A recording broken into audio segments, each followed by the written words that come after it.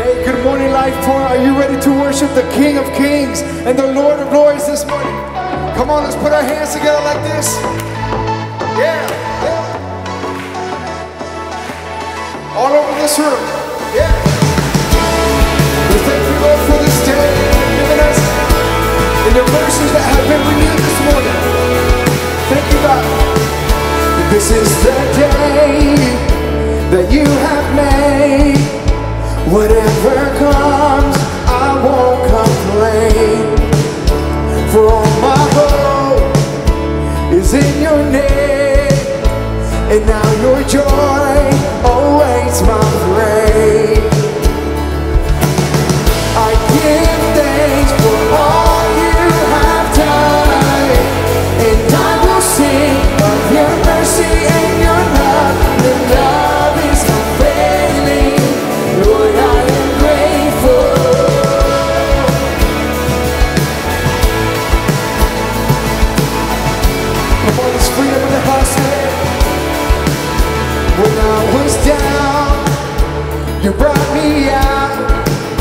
You set my feet on higher ground. So here I stand. You are.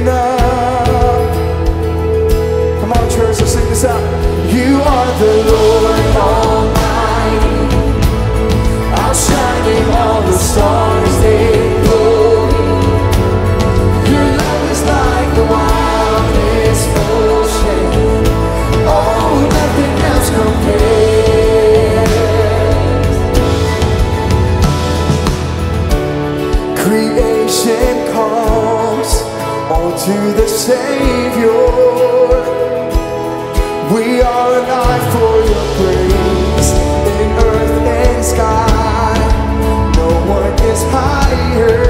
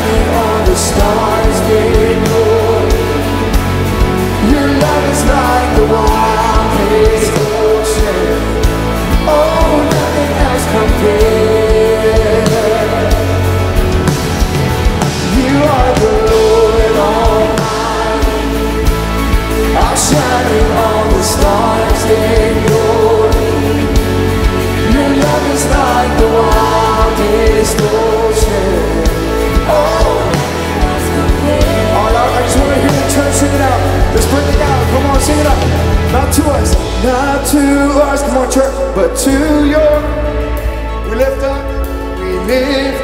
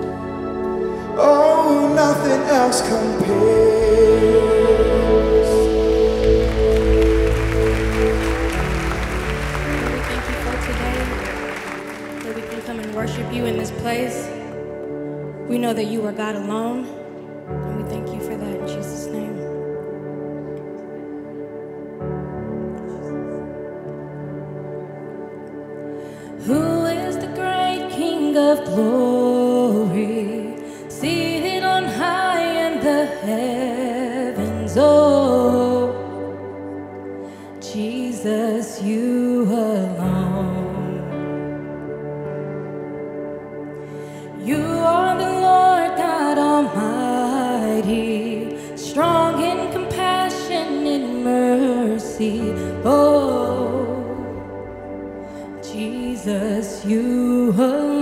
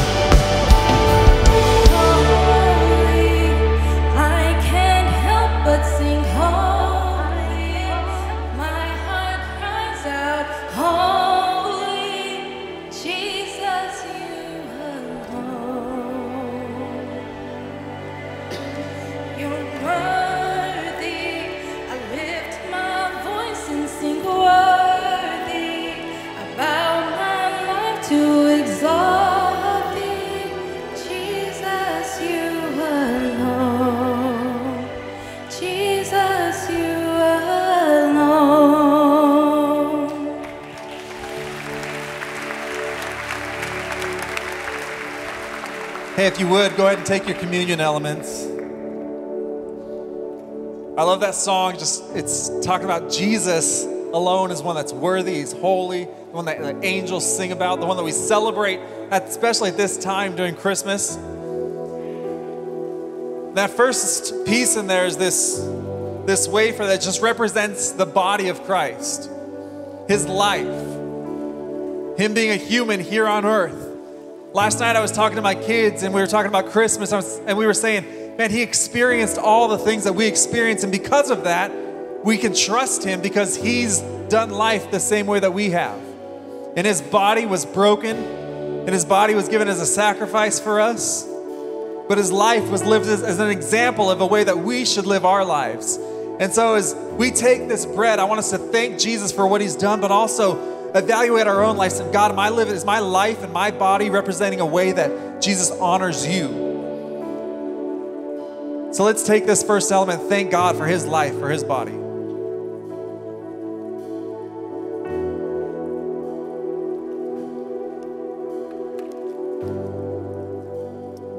Next thing here is this juice, which rep- represents the blood of Jesus. The blood of Jesus is the thing that frees us from sin. It brings us salvation. It brings us healing. It brings us hope. Because of the blood of Jesus, I can approach the throne and say, God, I'm, I, I'm here. And so as we, we drink this and we say, you know what, Jesus, thank you so much for shedding your blood and paying the price for my sins. I love Christmas time. We get to remember that Jesus came as a baby, but then he grew up and he died on a cross for our sins. And they tried to bury him, but he wouldn't stay dead. We serve a risen Savior, but his blood was shed for our sins. So let's just close our eyes for just a minute and thank Jesus. Jesus, we thank you so much for your sacrifice. We thank you for your body that was lived, God, in just a perfect way as an example for us. God, we thank you for your blood that was shed for our sins. God, we accept your forgiveness and freedom. God, we want to do our very best to live a life that honors you. Let's go ahead and take this.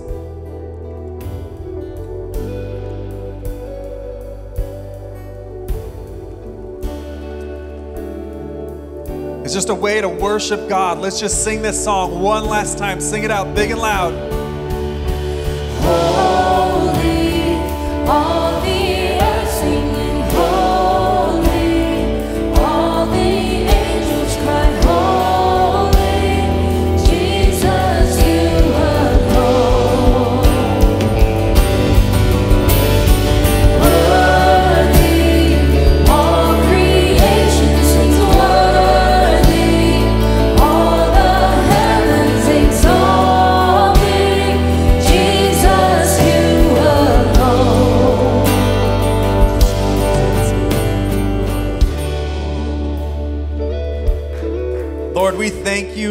God, you are so good.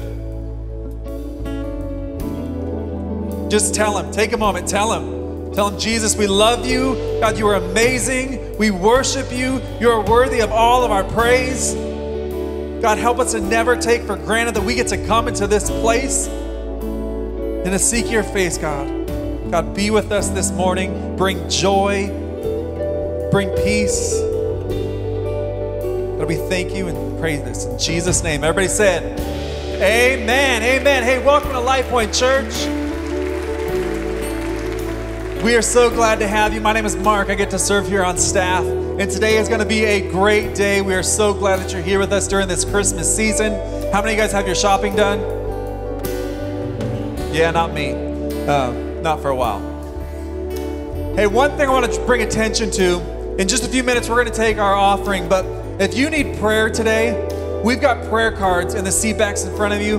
Man, fill out a prayer request. And on Tuesdays, we pray over all those needs. And you're invited to join us here on Tuesdays at 9 o'clock. We spend some time worshiping God and then we pray for the needs of our church. And so if you've got a prayer need, man, fill that card out and we will be praying for that need. There's nothing like prayer.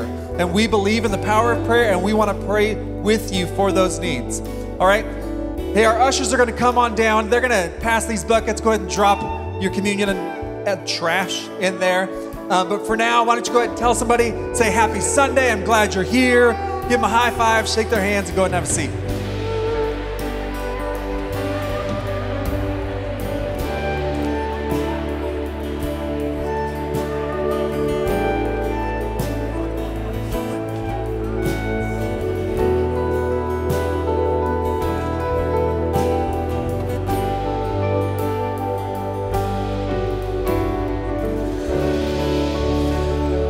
What's up, everybody? Good morning. How y'all doing this morning, It's Sunday?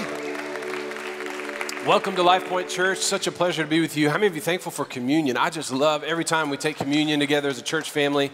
Uh, next Sunday is our big Christmas service weekend, and so very excited for that. If you would please uh, go ahead and get your invitations out for that and have some come with you. In fact, Saturday night we will be doing a dream team service. So 5:30 on Saturday, everyone who serves anywhere in our church will have a service for you on Saturday night because many of you will be serving uh, all day on Sunday and love for you to give up your seat uh, in whatever service you're in, especially if you're on a dream team, and just serve in that service instead because we, we are planning on a lot of guests next weekend. My name is Mike. I get to serve as lead pastor. I want to say welcome again to all of you, especially, hey, if this is your first time here, if you're a first time guest or first time back in a really long time, we want to welcome you first and foremost. Life Point, can we give it up for our guests today? We're so glad you're here. Hey, welcome and everybody joining us online through our live stream. We're grateful to be one church in many places. I'm going to invite our ushers to come down, and uh, we got a lot to get through in the service today. Um, but I want to give you opportunity to give. And let me just thank you on the front end. Uh, last Sunday, we had our once a year uh, prepared offering. We call it our Heart for the House offering. And thank you so much for your generosity to that. And you're, you're going to be. Um, speeding the way for us to make some great partnership and, and be a blessing to so many other organizations as we partner in 2020. So thank you for your generosity in that. And any time between now and the end of the year, if you still want to give to that offering, we certainly want to encourage you to do that. How many of you excited for 2020 to get here? Maybe it's because you're ready for 2019 to be over. Can I hear a big amen, everybody, right? So some of you like, this year's got to be done. Well, uh, can you believe we're back in the roaring 20s? That's kind of a crazy way to see that, right, everybody? Well, 2020 is coming very soon, and as we do every year, we start our year with 21 days of fasting and prayer. And I want to invite everybody in our church to be a part of our fast somehow and join us for prayer every single day. So we'll start that on January 1st and go through the 21st and um, fast in some sort of way. And, and there are so many different ways to fast, and we'll have some prayer guides for you available. We're, we're all getting uh, wristbands that remind us to pray first, then to listen to the Lord and listen to God through His Word. And as you're praying, and then live as a response to what God's directing you in. But we're going to consecrate this first three weeks of the year to the Lord in prayer. In fact, it's one thing that we've done every year as long as I've been pastor here. And I, I believe it's part of the reason God is growing our church and can bless this place because uh, we really dedicate that time first to Him. It's not a magic formula. I just think the Lord chooses to bless this church. Now, the fast is a great time to reestablish some disciplines in our lives. Now, some of you are asking already about what kind of fast do I do or what kind of fast should you do. And let me just say, fast something over 21 days. And, and I don't think fasting is abstaining from Facebook, even though that will set many of you free. Come on, somebody. I don't think fasting is just getting off social media. That's abstinence. But fasting, biblically and historically, is always about closing your mouth to something. Now, um, some kind of food or intake of something that you put into your body. So maybe you'll fast breakfast or lunch or dinner or uh, do some kind of intermittent fasting. I, I tend to just go all the way and do a total food fast. So I won't eat all day for three weeks, and then in the evening, I'll have a cup of broth, uh, soup broth, and some crackers or bread. And um, maybe that's the kind of fast you want to do as well. I would encourage you to be cautious, drink a lot of water that way. But fast something, fast sweets, chocolate, fast cucumbers. I mean, something really hard. You know what I'm saying? Like squash and onions, just fast some tough stuff. But the purpose of fasting is not a diet, it's to pray. It's to spend time in prayer and to consecrate yourself to the Lord. So we're going to fast and pray for 21 days. And one of the things I want to ask you to do is ask the Lord to stretch you in areas of your devotion life to the Lord. Y'all hear what I'm saying? How many of you ready for 2020 to be a little different in your walk with God? Anybody besides Pastor Mike, right? I, I know I want to I want to grow in some areas of my personal devotion life, and so I want you to ask the Lord to stretch you in a few areas. And uh, as we prepare to give, I want to ask you to ask the Lord to stretch you in this area of giving. Now, the Bible directs that we be tithers, that we bring the first tenth portion of our income to the Lord, and we give that through our local church. Malachi 3 says we give it through the storehouse, right? And for some of us, that's a real challenge, or it's, it's either a step of faith or step of obedience. We just haven't made it there yet, or you're working your way towards that. And I just think that's great. But, but all of us need to ask God, say, God, how would you stretch me in this area of my devotion life? And, and, and the rest of us during 21 days of fasting and prayer, we're going to grow in prayer, in Bible reading, in maybe serving, getting on a team, whatever it is, sharing your faith with others. But in the area of giving, some of you have never tried tithing, and so I want to give you a challenge. And we offer this multiple times throughout the year. We call it our 90 day tithe challenge. Now, it sounds like a, a bit of a, a, a sales trick, and that's not why, what motivates me. The only place in the Bible where God says we can test Him because you know the Bible says, don't test the Lord. Don't test God. Anybody ever say that to your kids? Don't you test me, right? The only place in the Bible that we are told to test God is in this area of tithing and then giving offerings. And here's what God says it's in Malachi chapter 3, the last book of the Bible in the Old Testament.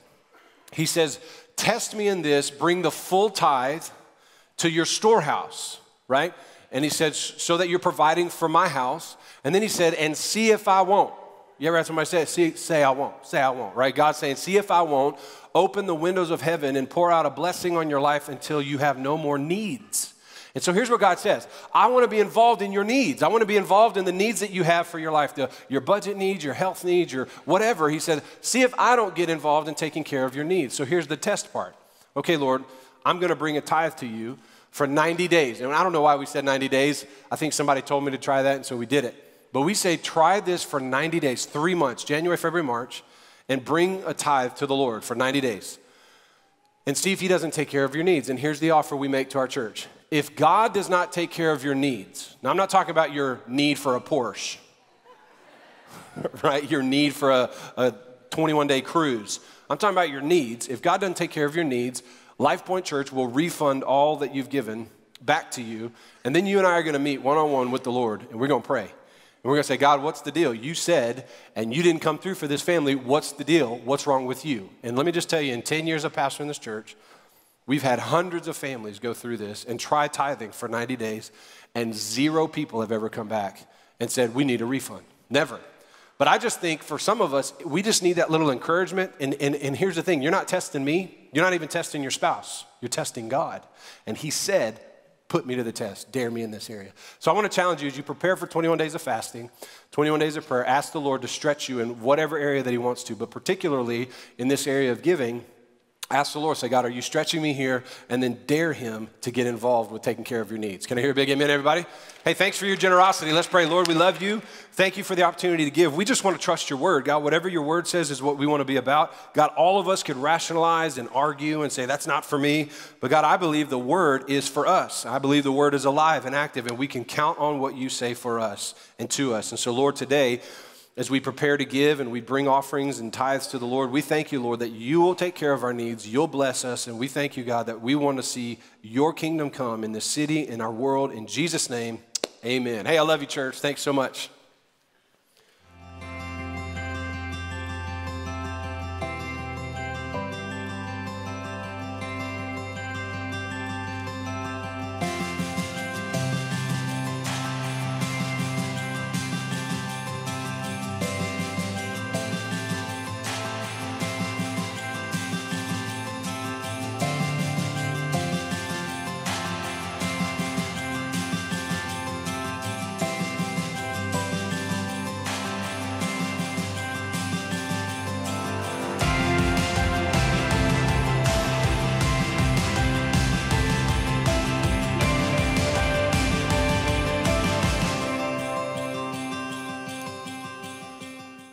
Hey, good morning and welcome to Life Point Church. My name is Mike. I get to serve here as lead pastor of our church. And hey, I want to say welcome to all of you who are here for the very first time, as well as everyone who's joining us at any of our locations. We are actually uh, streaming this to multiple places. I want to say what's up to our North Clarksville campus, those of you who are joining us at West Creek Middle School, as well as our Austin Peay State University campus and our microsites in Tacoma, Washington, and San Antonio, Texas, as well as our online church family, LifePoint. Can we give it up for our whole church family? We're so glad to be together today on this Sunday, on this weekend.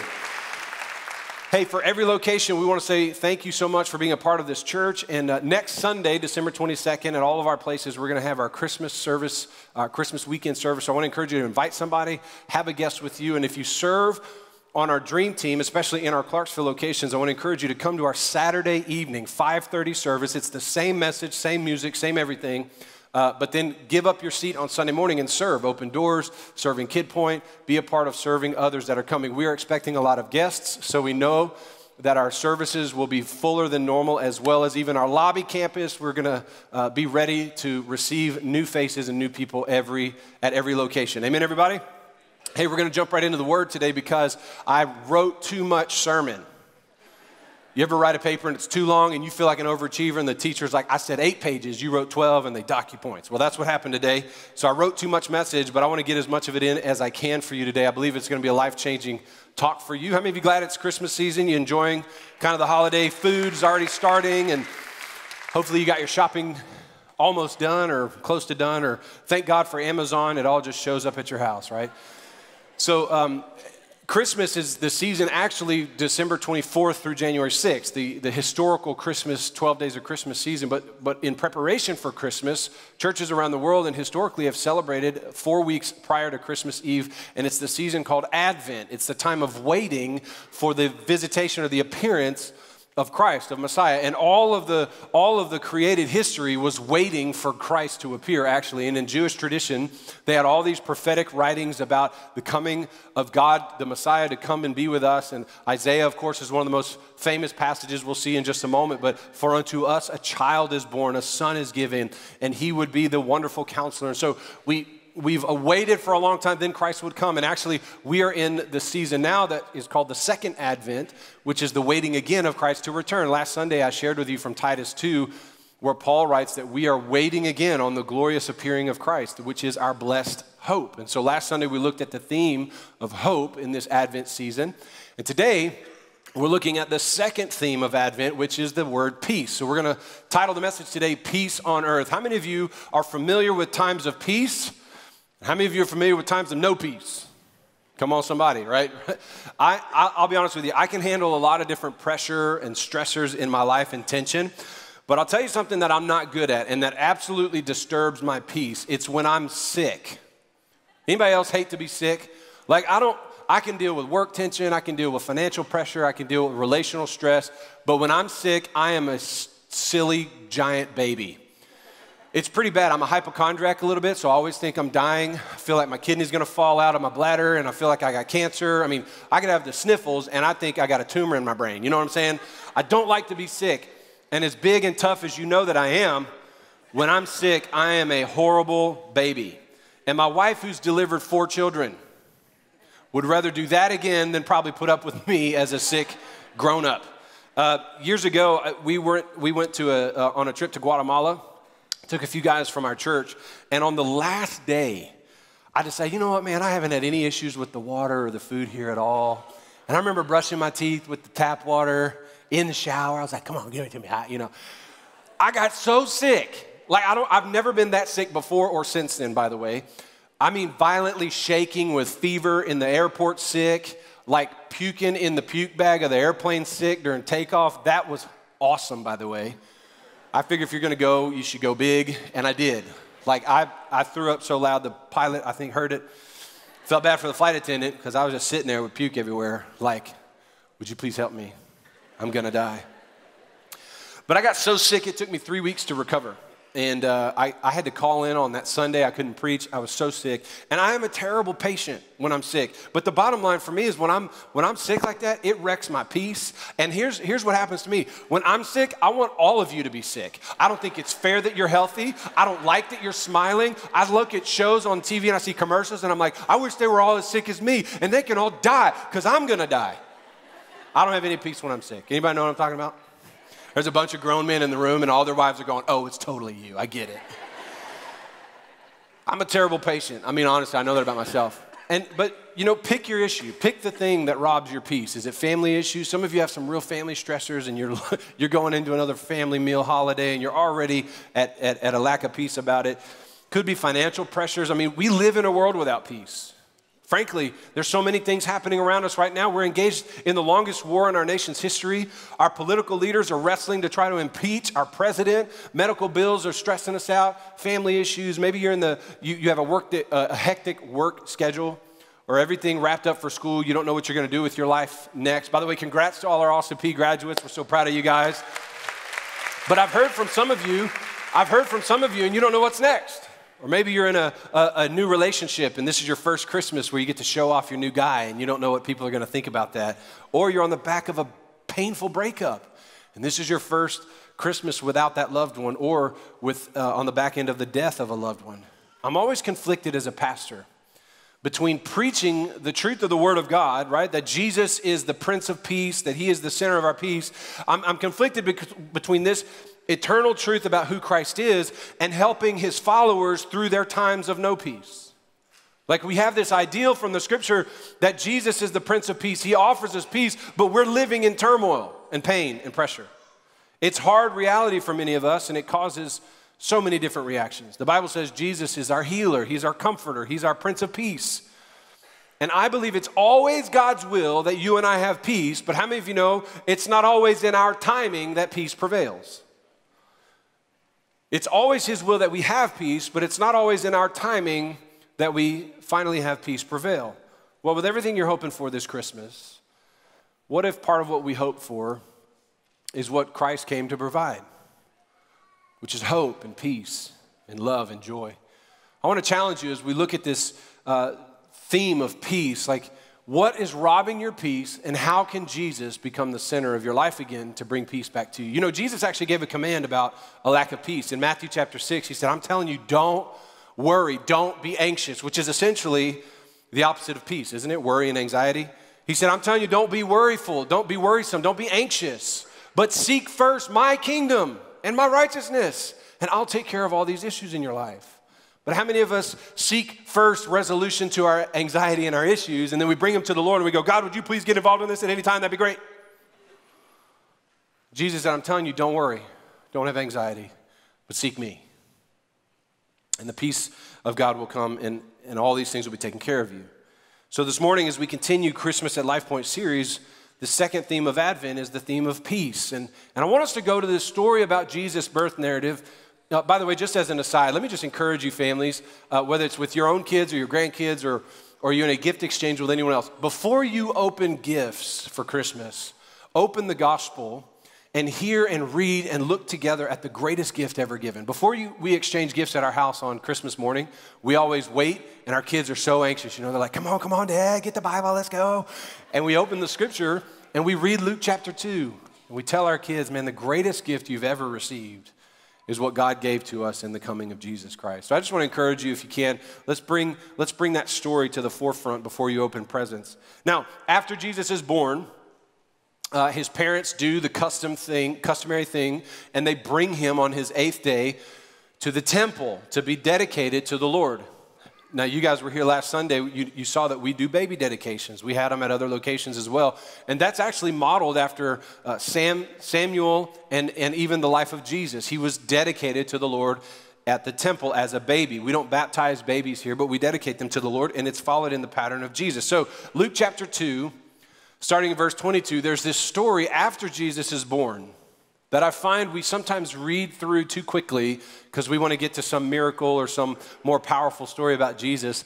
But this is one of the most powerful passages for us when it comes to peace with Christ. Luke chapter 2, verse 22 When the time had come for their purification, this is the family with Joseph and Mary and baby Jesus, according to the law of Moses, they brought him up to Jerusalem to present him to the Lord. As it is written in the law of the Lord, every male who first opens the womb of his mother, in other words, the firstborn child, especially of, the, of a mom, uh, every son, firstborn son, shall be called holy to the Lord. So they brought him to present him to the Lord and to offer a sacrifice according to what is said in the law of the Lord. This is in the, the Old Testament Levitical law a pair of turtle doves or two young pigeons. Now, verse 25 says, There was a man in Jerusalem. So they're bringing Jesus up to Jerusalem from Nazareth, right? So baby Jesus is born. Mary and Joseph are going up here to bring him and bring an offering to the Lord as a thanks for this firstborn son. And in Jerusalem, there is a man named Simeon. Everybody say Simeon. Simeon. And this man was righteous and devout, waiting for the consolation of Israel, or the, the healing or the satisfaction for Israel, and the Holy Spirit was upon him. And it had been revealed to Simeon by the Holy Spirit that he would not see death, he would not die before he had seen the Lord's Christ. Now, this is a very interesting passage, okay? Jesus has been born the, we, we've already lived through the, you know, the shepherds in the field and the star and the donkey out in the field, you know, and the, the manger scene and all that. Eight days later, now they're going up to the temple. And as they're going to the temple to, to, to offer sacrifice for the birth of this firstborn son, an angel or the Holy Spirit had already spoken to this old man at the temple named Simeon. In fact, that's, that's kind of how he's referenced the old man at the temple, Simeon. And here's the first thing that we see about peace peace is not something that you can earn. Peace is not something that Simeon earned. Peace was not something that our behaviors would warrant for us. Go back to the text and read, read with me again. There was a man in Jerusalem whose name was Simeon, and look what it says about him. This man was righteous and devout, waiting for the consolation of Israel, and the Holy Spirit was upon him. How many of you would like that to be your reputation? How many of you that's not your reputation? Yeah, a bunch of you aren't raising your hands because you're liars because you're not righteous or devout, right? Okay, so anyway, that was a joke. So here's what they said about Simeon. Don't be offended, it's not righteous. He was righteous, which means he had right standing with God. He behaved rightly. He had uh, disciplined behavioral ethics. And he was devout, which means he showed up for temple. He always showed up for services. He was faithful in his covenant and commitment to God. So, those are some great attributes of this guy, Simeon. I mean, it was so strong that they wrote this about him in the Bible. It's one thing to have that reputation like on the street or with your friends, it's another thing to have that reputation and it made the scripture. You know what I'm saying? So it says he had great behavior and dedication and he was super committed to his faith. And he was waiting for the consolation of Israel, and the Holy Spirit was upon him. So he was a guy known to have right standing, good behavior, devout, waiting on the Savior of the, uh, uh, of the world, and the Holy Spirit was on him. That is an incredible testimony and description. But here's what we understand as we move forward in the text that although he was all of these things, he had good behavior, he had good disciplines, he had good attendance, and even though the Holy Spirit was a part of his life, here's what he didn't have peace from God. He didn't have peace with the Lord. In fact, we go on to see in the text that peace comes as a result of him meeting the Christ. But listen, even though all these things were true about him, he didn't have peace. He was waiting on peace. It literally says he was waiting on the consolation or the, clo- the peace for the whole nation of Israel. Even though he was righteous and devout, he was waiting on peace to come waiting on the Lord's Christ, waiting on the Messiah. And he was a good Jewish man, which means he knew the Old Testament. He knew the stories and the prophecies and the law. In Isaiah chapter 9, verse 6, it says this about this coming Christ that he had been waiting on. Hundreds of years prior to Luke chapter 2, Isaiah writes this prophetic word. He says, For unto us a child is born, a son is given, and the government shall be on his shoulder. In other words, in other words all authority and all reign and rule will be on him, and his name shall be called Wonderful Counselor, Mighty God, Everlasting Father, Prince of Peace peace and of the increase of his government and peace. There will be no end. There's no end to the peace that comes with Jesus. Now, here's Simeon, this old righteous man. He's super devout. He's very faithful to his covenant and his commitment to God, and the Holy Spirit's on him, and yet still he's waiting on this peace to come. Are y'all tracking with what I'm saying here? Even though he behaved well, listen to me, even though he was a good guy, he didn't have real peace with God.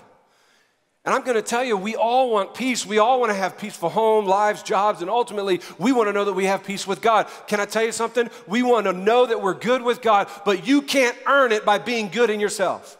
You can't earn peace from God. You can't earn the consolation of, of, of, righteousness and peace with God simply by being a good guy, being a righteous person, having good church attendance, and doing other religious practices. We can't fabricate peace. We can't, we can't put that out to God and say, Well, I'm at peace with myself, so I've got peace with God. Isaiah said, All of our efforts, all of our religion, and our righteous efforts and our devotion, all of it is like filthy rags apart from God. That is, our efforts don't produce what only God can produce. And if we desire peace with God, listen to me, if we desire peace in our lives, peace in our homes, we can't fabricate it and we can't earn it, and we can't make it appear. I love that this was his testimony, but even the most righteous guy in the temple that day, even the most devout guy, the guy who was led by the Spirit, was still waiting for this peace to come.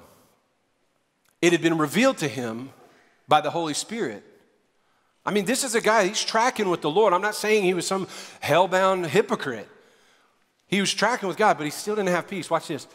He was told by the Holy Spirit that he would not see death before he had seen the Lord's Christ, that Christ that they're waiting on for hundreds of years as a nation. How many of you would like to know the day you're going to die, right? That's like this old question, like, wouldn't you like to know? And then you can live it up until then. Well, this guy knew he wasn't going to die until he'd seen Christ. So every day it's like, well, I ain't seen Jesus yet. So what you got for me? You know what I'm saying? I ain't afraid to die today because I'm not going to. That's a lot funnier to me than it was to you. That's cool. The Spirit of God told him, He said, You're not going to die until you see the Christ. Which, by the way, once he sees him, he's probably like, Take me now, Lord, I'm ready. And so here's what happens He couldn't earn it by his righteousness. He's still waiting on the consolation, the, the, the closure to the things of God. And then we see Jesus become the center of his true peace. Watch what happens in verse 27. So he came in the Spirit, capital S in your Bible too, right?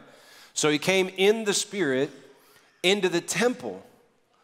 Now, when the parents brought in the child Jesus, which is to do according to the custom of the law, Simeon took this baby in his arms and he blessed God. And he said, Lord, now, look what he said, now, not before, not later, finally, here in this moment, now you are letting your servant depart in what? Peace. Why? Because the Lord said, You will not die until you've seen the Lord's Christ. And now Simeon grabs this little eight day old baby. Any new moms, first time moms, are already shuddering at this. You're like, Oh no, don't touch my baby. Don't take him out of the car seat. Have you washed your hands? Did you Purell them hands, old man? Like, any new mom would be freaking out right now, right? But Simeon, full of the Spirit, people knew his reputation. He grabs Jesus, holds him close, and finally sees the Lord's Christ and says to God, Now I've seen the Lord, now I can die in peace. This is the salvation, he says. My eyes have seen your salvation that you have prepared in the presence of all people. Can I just tell you that God's salvation, again, it's for all people. It is a light for revelation to the Gentiles, which is every one of us that aren't Jewish, shalom, and for glory to your people Israel. So here he's saying, I've seen the Lord's Christ. This is salvation prepared for all folks. It's revelation to the Gentile, to the non Jew. And now this is for the glory of your people Israel. In other words, this is a story that comes out of Israel. This is our guy, and now he's for all people. I love this picture. Simeon grabs this baby. He's eight days old. He's the promised Savior to this young mother, Mary. She's probably thinking, Don't touch him, don't touch him, I don't want to break him. God told me to raise this kid as his own. Who are you, old man? Right? And he grabs this baby and he says, Look, Lord, now you are letting your servant die in peace. According to your word, for my eyes have seen your salvation. How amazing was it that he was able to see Jesus? I mean, before Jesus was anything, Jesus hadn't done a miracle, he hadn't preached a sermon, he hadn't called his mom a woman yet. I mean, he hadn't done anything special. But this is the one that he was waiting for his entire life. And now he says, now, as devoted and righteous and full of the Holy Spirit that he was, he had longed and waited to meet Jesus. Now, listen, here's why I think this is important. Simeon couldn't die in peace because of his righteous behavior. Simeon couldn't die in peace because he was devout to the temple, he was devout to the traditions. He could only find peace when he met Jesus. Did you hear what I said?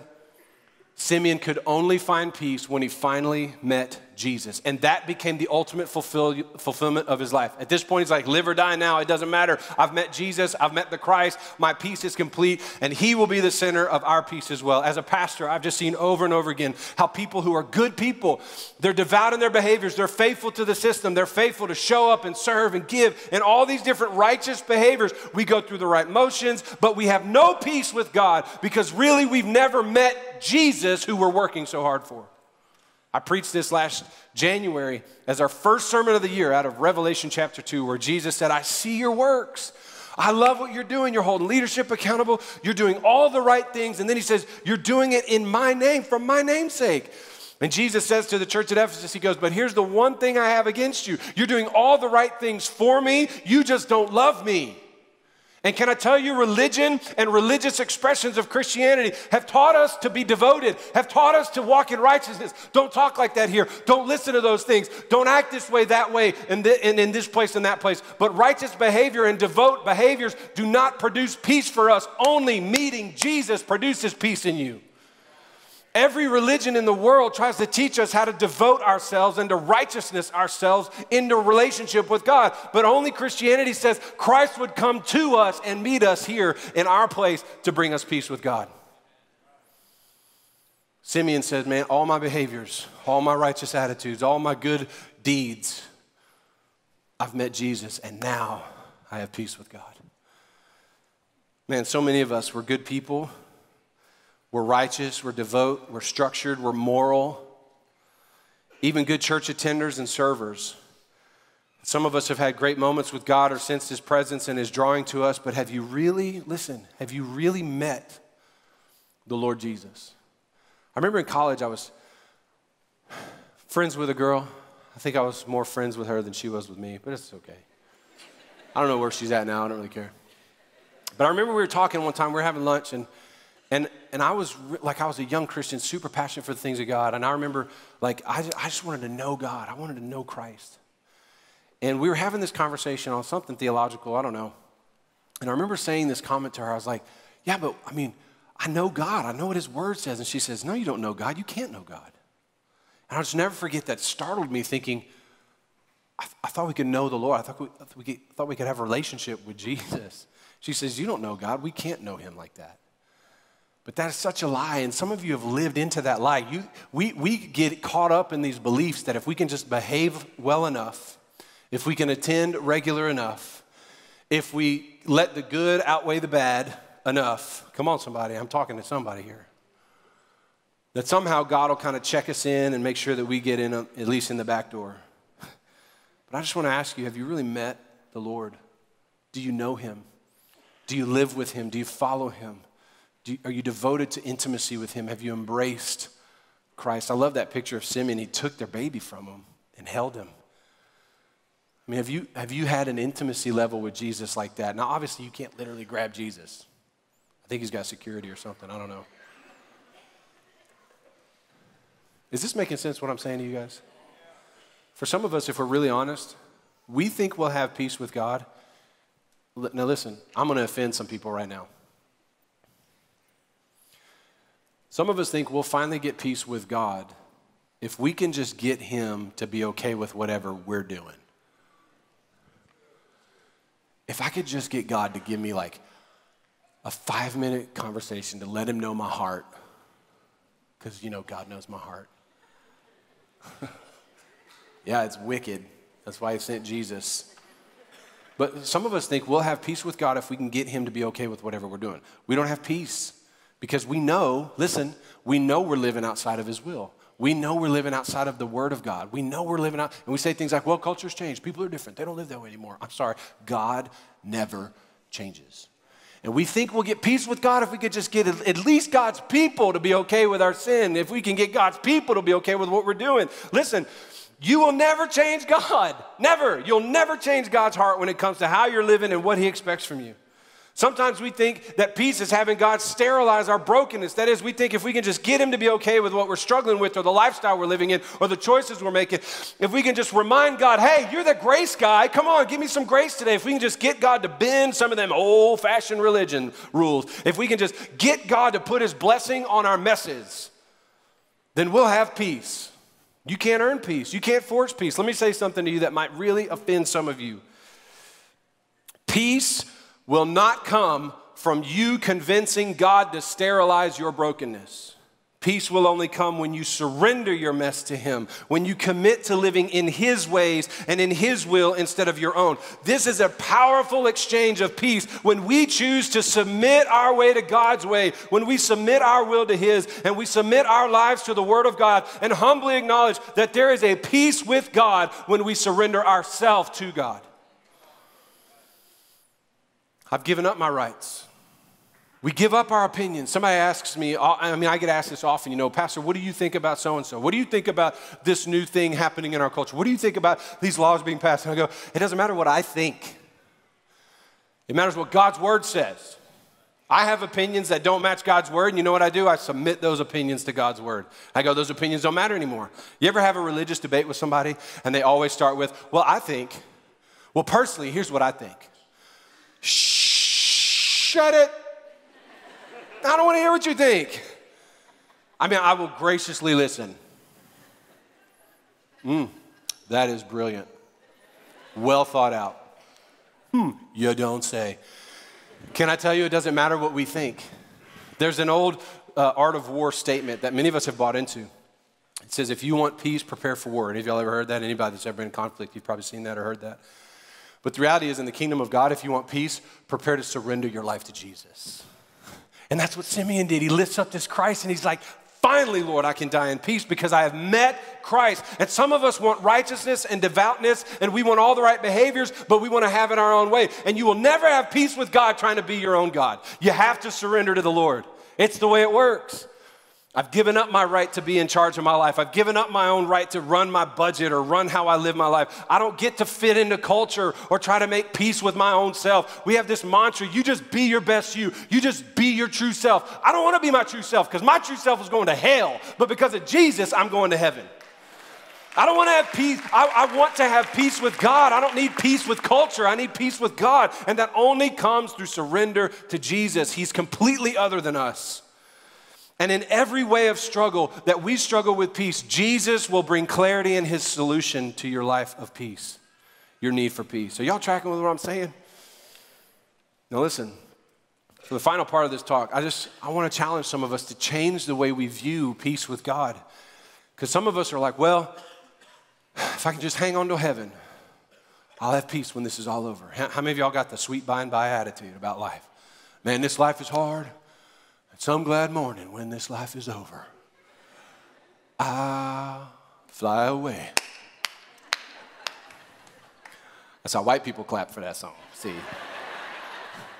Black folks like, we don't clap on one and three. No, we don't do it like that. Some of us have this attitude that we're just going to hang on to heaven. Man, we'll make it one day. That's just not the life of peace that God is offering for you. Can I just start by telling you that Christ came to bring peace for your past? Now, this, somebody here needs to hear this. And it may be your recent past or your long ago past. Jesus has come to bring peace for that. When he hung on the cross and he prays to the Lord, he says, God, forgive them, for they don't know what they're doing. Man, he gave his life for every sin, listen to me, you've ever committed. There is nothing, and I, I just want you to hear this there is nothing in this world you have ever done that Christ will not forgive. Nothing. There's nothing. And I know in a military town, we have a bunch of our soldiers that have wrestled with this statement that I'm making right now. In fact, I want to uh, give you an update for a couple years old story that I shared about a guy named Q. He was a part of our church, and I met him in the back row of our old building uh, here at our Rossview campus. And Q came to me one day just totally distraught. He's about my size, big old guy, man. He's just big old teddy bear, super strong teddy bear. I met him and he gives me this hug, and I swear my soul left my body for a minute. I was like, I gotta breathe, I can't breathe. And I met him and he was in tears. I said, What's the deal, man? And he was with one of our guys here on staff, and, and he's like, Man, I, I just don't think I can ever be forgiven. I've seen some things and I've done some things. He was in combat with a special group that's not known, and, and he had to do some really awful things in combat. And Q came to me. He's like, I don't, I can't, I can't stand myself. I can't live this life. I don't know what I'm gonna do. So we we started meeting with, talking with, praying with Q, and got him into a small group. And we are discipling him, and he just could not let go of the fact that some of the things he had done, God would never forgive. I get a call from him one day. He turned to a bunch of things to medicate that pain. I get a call from him one day, probably about a year later or so after that soul wrenching hug. And he says to me, he calls me, he says, Pastor, it's Q, is not his name, but that's what I'm calling him for you. He said, I just have a question. I said, Where are you calling me from? I didn't recognize the number. He said, I'm not telling you where I'm calling you from. I'm on a payphone. Don't worry about it. And he said, I need to know if I go off the grid and live on the streets for the rest of my life, will I go to hell when I die? I said, What are you talking about? He said, I'm not going to talk to anybody else in the whole in the rest of my life. I'm not talking to my family. I'll never talk to you again. You'll never hear from me again. I just want to know if I go live under a bridge or on the streets.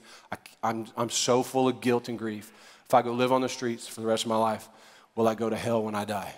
Because if I'm going to go to hell then, he said, I'm just going to take my own life and go to hell now.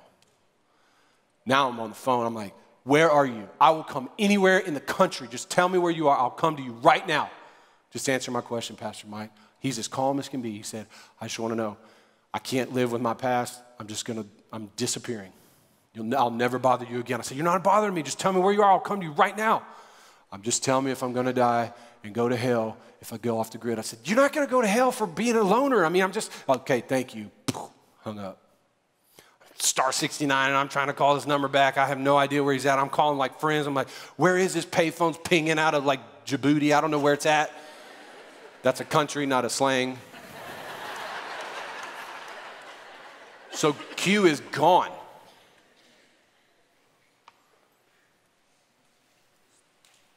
About a year later, Q calls me. Man, it's so refreshing to hear him. And Blaine and I have been discipling him, and he's like, Well, that didn't work. I'm just, he's just so lost and broken. And he kept going back to what he had done in combat and what he'd done in his past. I said, Man, we're going to put you in treatment. Come here, we'll take you. I'll drive you myself. We did. Blaine and I took him down to treatment in Dickson through the Hope Center, which you faithfully support every month by your giving. Thank you so much for that.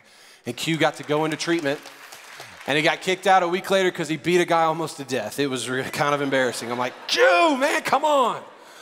So we end up putting him in another treatment center in Chattanooga which your faithfulness and generosity supports everyone. Thank you so much. And that's where Q met the Lord. And about three, hang on, about three weeks ago, I get a text from Q. And he sends me a video of him singing the old rugged cross at First Baptist Church in whatever city in Alabama in a suit and tie. And his eyes are bright. And he shares in the middle. He's got this big, deep voice. On a hill far away. I can't even do it, it's so low. And in the middle, in the break, he said, I've done a lot of things in my life. But how many of you know I met the Lord and he changed my life? I'm here to tell you, I don't know what you've ever done. There's nothing you've ever done that God won't forgive and heal and bring you peace in your life. I'm telling you, God loves you. He's not mad at you. He's for you, not against you. You and I need to realize that peace from God, some of us need peace from our past. Some of us have never forgiven ourselves for the things we've done. Psalm 103 says, as far as the east is from the west, that's how far God has removed our sin, our transgressions from us. In other words, it is so far removed from God's mind. Why do you keep replaying the video? Why do you keep living back You bring it up every day. I can't believe I did this. And God's going, What are you even talking about? I don't even know what you're referring to because I forgot about that.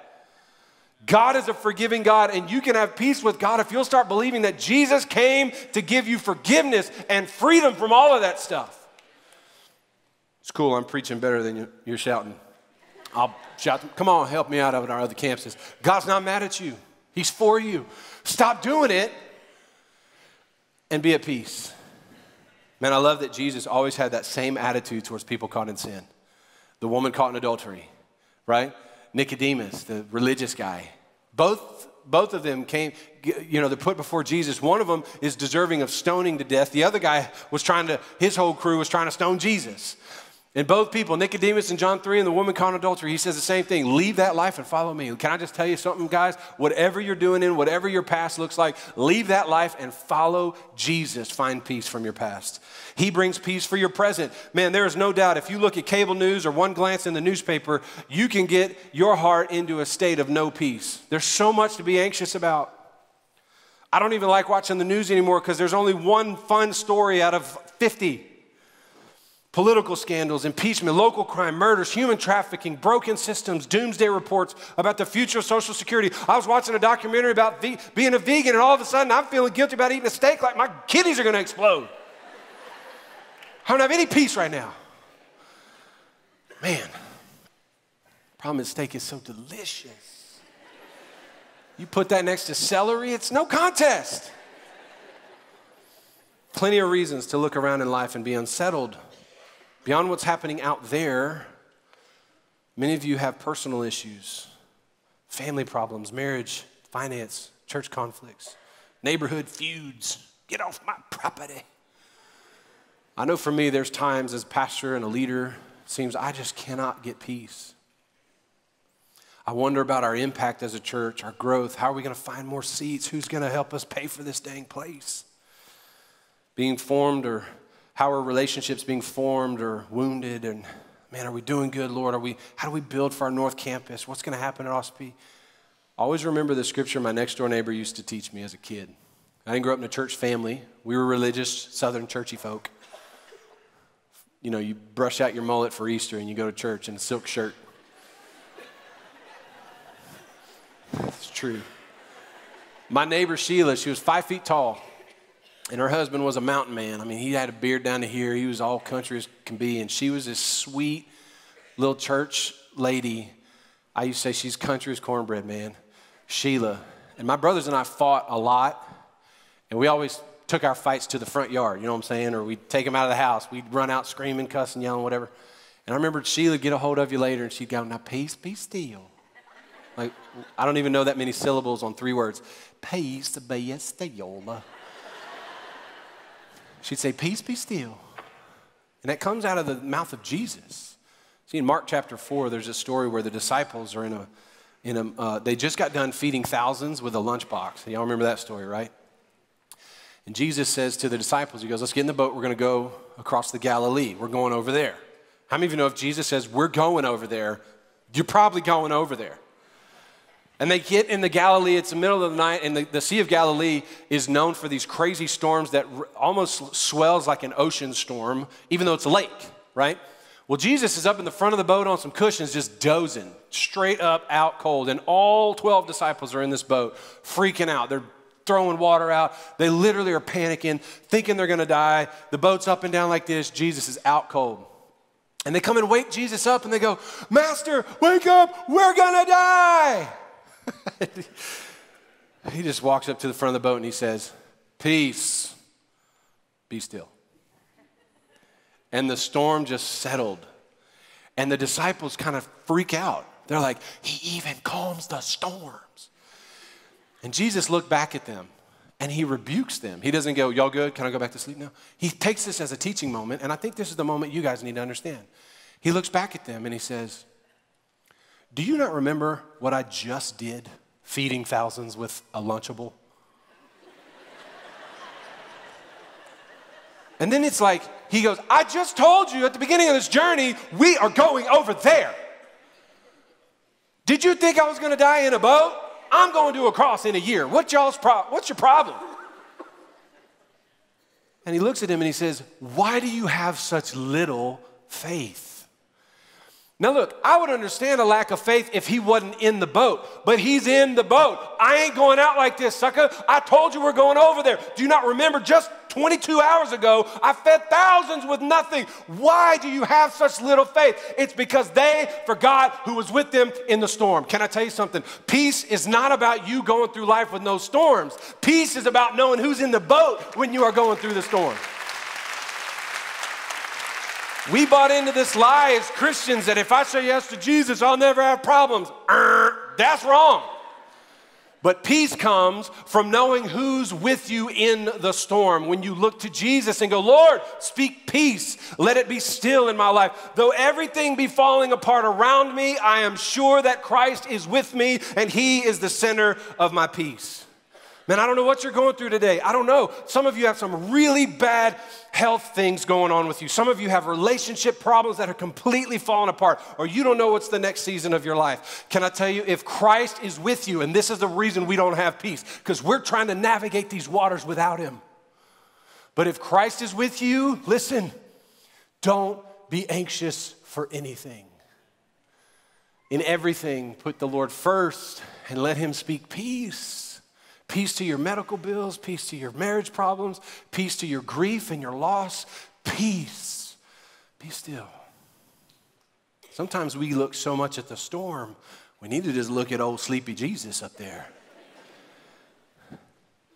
and go, if he be with me, who can be against me? Man, it might be really tumultuous in your present situation, but I'm here to tell you God's with you. Finally, Christ came to bring peace for our future. And I, I, just want you to understand the eschatological reality here. That's a fancy word for end times. See, our future in Christ is secure. If you belong to Jesus, you belong to Jesus. In Psalm 118, verse 6, it says, The Lord is on my side. Can I just remind all of you to just say this every day? The Lord is on my side. Say it with me right now. Come on, say, The Lord is on my side. Say it again. The Lord is on my side. I will not fear. I love how Simeon's attitude was take me now, Lord. I don't care how I die. I don't care. This was Paul's approach to life with Christ. He's like, kill me, beat me, throw me in a, you know, a shipwreck, whatever you got to do. Because I know that to be absent from this body is to be present with the Lord. My end is secure. I am confident that my peace, this place is not all there is. This isn't my permanent home. Some glad morning, when this life is over, I will fly away and I will be with the Lord forever. Sometimes we lose sight of the fact that we are heirs with Christ. We are sons and daughters of the Most High God. Look what Paul writes in Titus. I feel like I'm yelling. Am I yelling? I'm like all antsy over here. like, come at me, devil. All right. When the goodness, when the loving kindness, I gave you Titus 2 last week, right? The grace of God has appeared, and now we wait on the reappearing again of Jesus, our blessed hope. Now in chapter 3, he says, When the goodness and loving kindness of God our Savior appeared, this is Jesus. He saved us. Look at this. Not because of any works that we have done by our own righteousness, but according to his own mercy. And the washing of regeneration and renewal, He's changing you. He's wrecking your life. He's making you new, right? And renewal of the Holy Spirit, whom He poured out on us richly through Christ Jesus our Savior. So that being justified, that means set right, that means bills are paid. That's what justification is essentially. It means you have been justified before God. Your bill is paid, your, your portion is taken care of. We've been justified by His grace. We might now, so that being justified by His grace, we might now become heirs according to the hope of eternal life. Let me just assure you of something your eternal life is now and forever. Your eternal life means eternal living. And you can be sure about this. We are justified and now we are heirs. Here's the thing many of us don't have peace because we forgot we're sons. Many of us don't have peace in this world because we forgot who our daddy is. We forgot that we're daughters of the Most High God, that what can anybody do to me? Greater is He that's in me. I'm more than a conqueror in Christ. I'm an overcomer. Come at me, devil. Come at me, world. You can't shake somebody who knows their future is with the Lord forever. Our peace is forever. We are heirs of God for eternal life. What has this life possibly got to throw at you that would be so stressful that you would lose your sonship or daughtership to the King of eternity? What's so stressful that we would take our eyes off Jesus long enough to lose sight of the Prince of Peace? Paul said we're co heirs with Christ. We are also to be in heaven with him forever. It's the joy that comes in funerals that to be absent from this body is actually to be present with the Lord. I've shared this at funerals. We had a, a young mom die way too soon. And I stood right here and I said, But if she could look back at us from heaven right now, she could peel back the curtain, she'd go, This place is awesome. I don't know what you're freaking, freaking out about and crying over me for. This is great. We've got to keep an eternal perspective as heirs and co heirs with Christ, sons and daughters of the Lord. So, hey, as I think about our church and I think about us at multiple locations and what God's doing here, many of us are struggling. We've got past issues. We're dealing with some pressure right now. And some of us don't know for sure where we're heading into the afterlife. Can I just encourage you to look to Jesus? Like Simeon, get alone with Christ and let your peace, let your cup flow with peace that comes from the Lord. I love that he grabbed this baby and he got his eyes on Jesus. And I want to challenge you as you finish out this text today that you come away with Christ between now and the end of this year, and that you establish some ways in 2020 that you're going to get your eyes more on Christ, looking to him, the author, the perfecter of your faith. Paul writes this to the Philippian church. He says, Rejoice in the Lord always. How many of you have made that conditional on peaceful times? Well, I praise God when it's good. He said, Rejoice always. Then he goes, Again, I say. Why did he say it twice? Because we don't listen. rejoice in the Lord always. Again, I say, Rejoice. Let your reasonableness be known to everyone. That's a great standalone message all by itself. The Lord's at hand. Don't be anxious about anything. This is the opposite of peace. But in everything, by prayer, supplication, which is submission and surrender, and with thanksgiving. Lord, I thank you in the middle of this treacherous time of my life. I'm thankful to you. Here's what he says Submit your request. Let your request be made known to God. And then look here, the peace of God. How many of you know God is always at peace? Did you hear what I said? God is always at peace. He's never nervous. He's never wringing his hands going, I don't know, Gabriel, how are we going to get through this one? Man, we better pray in the name of me. I don't know. It's just not going to. Here's what he said the peace that flows from God will guard your heart, will guard your mind in who? Christ, Jesus. See, we got to get our eyes back on Jesus like Simeon. So as you prep for this year 2020 and resolutions there, I want to ask you to devote some discipline to your prayer life to get your eyes on Jesus. I want to ask you to get your Bible off the dashboard or off the shelf and start reading the words of Jesus. Get your eyes on Jesus. Get your eyes on the Word of God. Get your eyes on Christ in your prayer closet, in the Scripture. Get your eyes on Jesus. Be in church. Be a part of the body. Quit saying, well, you know, I, I don't need to go to church to be a Christian. That's just horrible motivation anyway. I get to go to church because I'm a Christian. Y'all get to put up with me because you're growing in your Christianity too. I don't want to go to church. It's full of hypocrites. We ain't full yet. And where else do you want hypocrites to be? I mean, Jesus' whole crew was all hypocrites. Every one of them. I'm gonna do a series this year on Peter. You're gonna see that dude had foot and mouth syndrome constantly. He was a total hypocrite, a racist. He had all kinds of issues, and God still kept him close. Get your eyes on Jesus, the center of your peace, the peace from God, of God. In the original Greek language, this is a case called the dative case of, from, and through God. It's the same peace that God has. That's what guards your mind, your heart. It surpasses understanding. It doesn't make sense. How in the world are you at peace at a funeral? How are you at peace when your job is unsure? Because my confidence is in the Lord. I'm setting my eyes on Jesus. And the peace of God guards my heart and mind. Lord, we honor you this morning. We honor your word today. We thank you for the peace of God that passes understanding, that it will guard our heart, it'll guard our mind, and it comes in Jesus. So, Lord, draw us back to Jesus. Draw us to our prayer closet. Draw us back to Scripture. Draw us back to devotion, to the body of Christ. Draw us back to you, Lord God.